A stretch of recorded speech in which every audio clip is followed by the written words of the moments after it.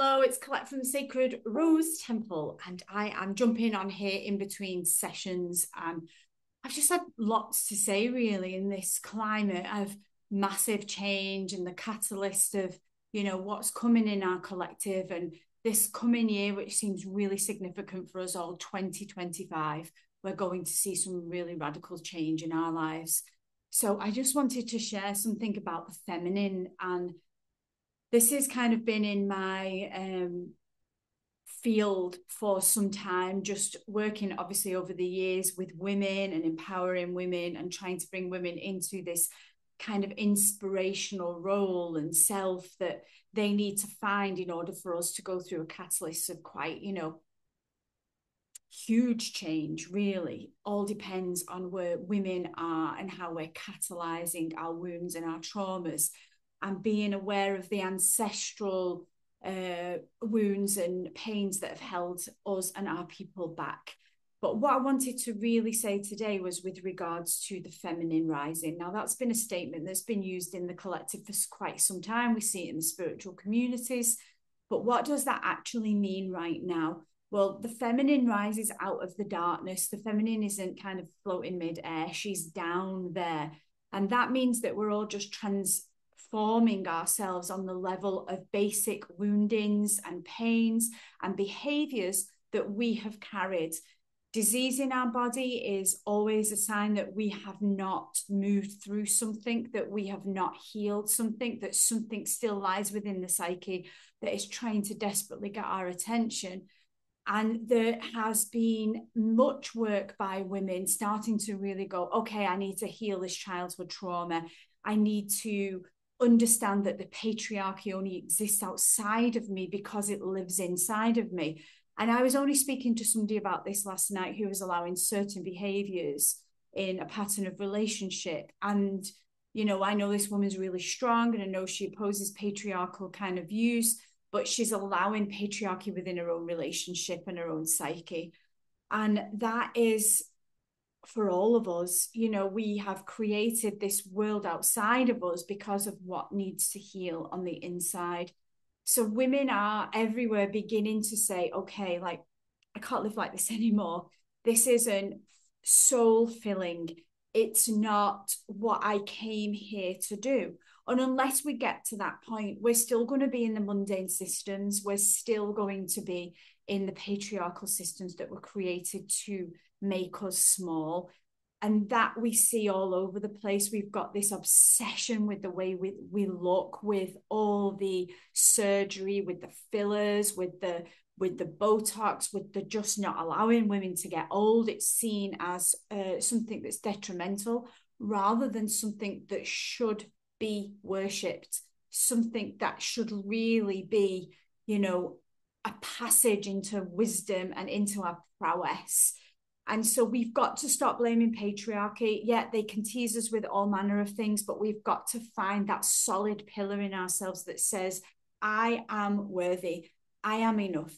I am beautiful. I do not need to inject things into my face, put silicon in my body to be more of a woman, to be prettier, to be nicer. And if that's what we do, we need to look at why why do we have to have implants to make us feel more feminine? Why don't you feel feminine? Why don't you feel sexy? Working on that is in the realms of sacred sexuality. Sacred sexuality makes us feel gorgeous on the inside. It's like we are the rose that's blooming. God gave us this body, God gave us this face, and we will wear it with pride. We are worthy, we are beautiful as women, and we must be a force against this attack on the feminine that's coming in. We must do healing in this area so our young girls don't grow up thinking that they need these things to be more beautiful. That is because the external has become more important than the internal. So we might have all this profound beauty, but what about beauty on the inside? How beautiful is your life? How alive is your soul? They're the important things for our daughters. And they're the important things that we as women should be healing ancestrally for the women that came before us and the women that will come after us. So, feeling in the realms of being worthy, being naturally worthy of yourself for all that you are, and then trying to move forward with that worthiness once you feel it, once you know you're naturally beautiful, that you're naturally embodying all the essences of what it is to be feminine small boobs, big boobs, big noses, small noses, thin lips, big lips.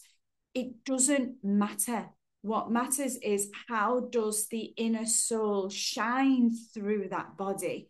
And that brings us the glow that brings us the beauty. We become internally radiant, and that seeks outside for more radiance.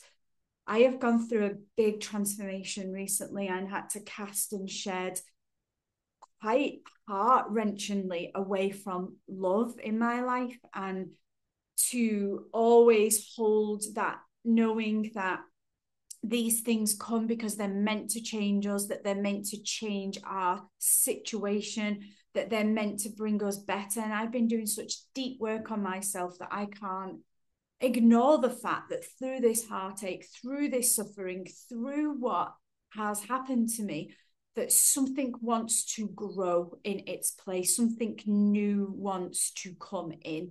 So we're dissolving the old. So if you're in relationship and it's gone, or you're in relationship and it's changing, this is super important because it's upstaging, it's up gaming, it's asking you to let go of what was and start to come into what it is to become. And we've got to look at that. What is it we want? How do we want to live our life? What does that look like? and how do we start to build that so we're not at the point of building it yet but really as women being the oracle and seeing it what does it look like what do we want what are the things that make our soul come alive? And i think what's happening is that they're becoming more simplistic. We're reasoning we're, we're realizing that the simple is actually where all the beauty is. The simplicity of nature, the simplicity of a life that's full of love and harmony and home, and the magic that you feel in the safety of love within yourself that you can create. So let's up game. Let's really begin to say, okay, like I've got this, whatever it is, I've got it and I can really, you know, be asked to up level, really be asking myself to say, you can do this, you've got it. This is going to take you further, and it might be uncomfortable, it might be heartbreaking, it might be bloody difficult, but that in itself is a sign it's where you are growing. So it's time to get rid of comfort.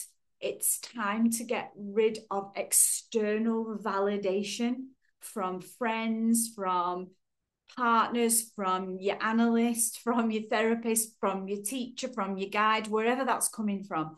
Stop looking for external validation. Turn into yourself. Let the truth of your voice come out. Stand in what you have been learning, the wisdom that you have been gaining, the womb power that you've been working with. Stand in that spiritual prowess and really feel, you know what? I'm pretty awesome. Look at these things I've done. And I shared this morning in the energetic forecast for this week that we're looking at really changing the foundation of relationship externally, but also internally with our own self. What is your relationship with you like? Where are you diluting yourself? Where do you not stand up and speak out? Where do you not own your hard earned wisdom or your hard earned studying? I'm someone that's been in spiritual work since I was 19 years of age. I have gone through hundreds of thousands of hours of training in many modalities, and it's about time I owned it. So, what do you need to own? Where is your wisdom? Where is your speciality? What are you bloody brilliant at? And then bring that to this earth platform because it's so needed. And the longer we are hiding from the things we are really great at, really practiced in, really embodied in, are the very things that are needed on this earth. The other area is to watch for where you're not qualified, where you aren't embodied. And if it's something that you are grasping for, then go for it. But do the time tested work there, do it time tested, devote to practice, devote to whatever it is that you want to do. And I say this often, you know, we are all probably brilliant at everything but it's what we've devoted time to. If we're going to be a pianist, we're going to spend hours on the piano. That's what's going to make us good at playing the piano. If we're going to be a great runner, we're going to get out and run every day. So, what is it you want to do? What are you good at? And what can you devote your time to? So, time of devotion. Devotion is very feminine, is really a feminine concept that we hold really well. I devote to me, I devote to my practice, I devote to my spirituality, my womb wisdom, my druidess. I am making very clear all the things in my life at the moment that I am devoted to. So, this is a profound time, and I will keep saying that for us as women to really not only rise, but to really step on the platform of life, see life as a huge myth that we're living that the gods are rooting for us and that the archetypes that live within our psyche are looking for the role to work with the heroine. She wants to overcome the darkness. The heroine wants to overtake the challenge. She wants to meet her destiny. She wants to meet what her soul searches for. So think about the myth of life and what your myth of life is and what your heroine needs to do to become that beautiful story that will be your life.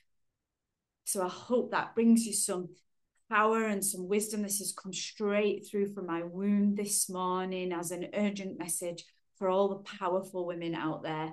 So take care, own your power, own your feminine principle, and let's make some drastic changes on this planet. Bye for now.